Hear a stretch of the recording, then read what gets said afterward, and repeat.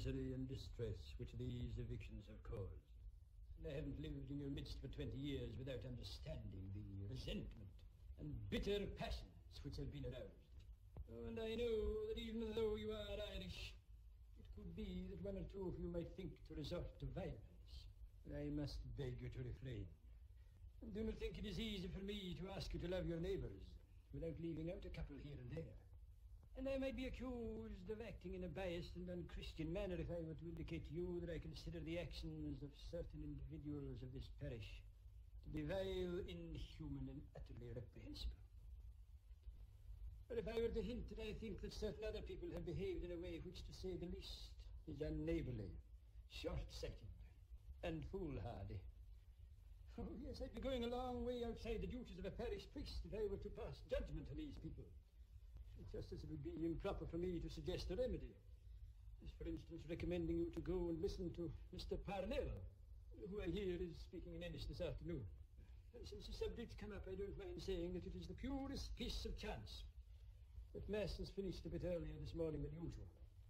However convenient it might be for the one or two of you who might be thinking, rightly or wrongly, of going to hear the great man. The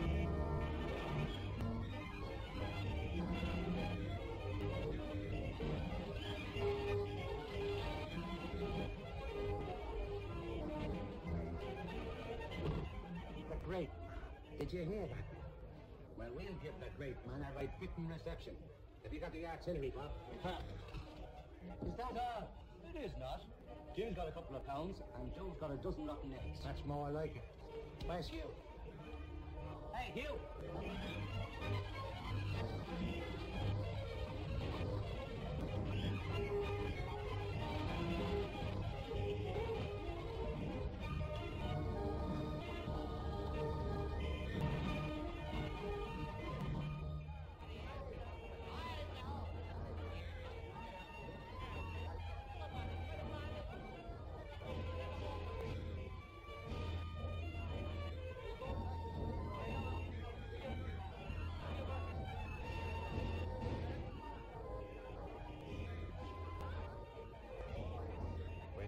Signal now.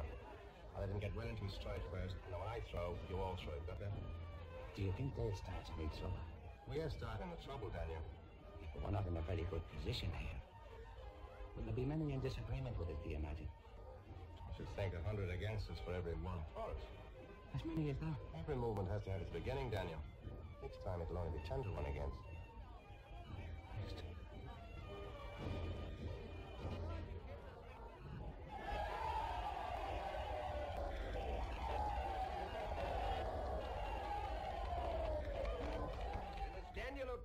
Dedicated himself to the cause, so I have pledged myself to the same cause.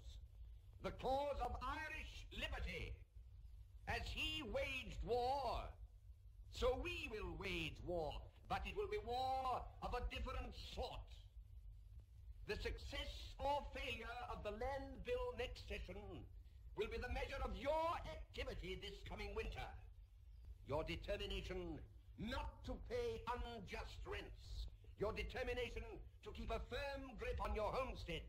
Your determination never, never to bid for farms from which others have been evicted. Now,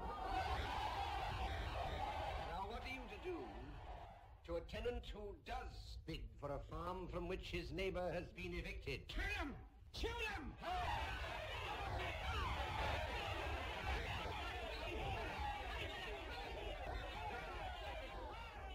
Think I heard somebody say shoot him.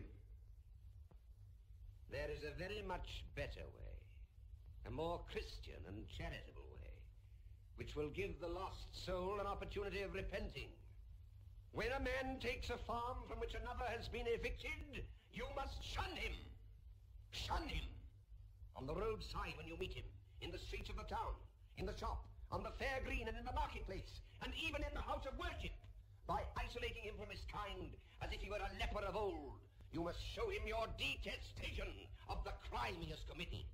Shun him, cut him, brand him, excommunicate him.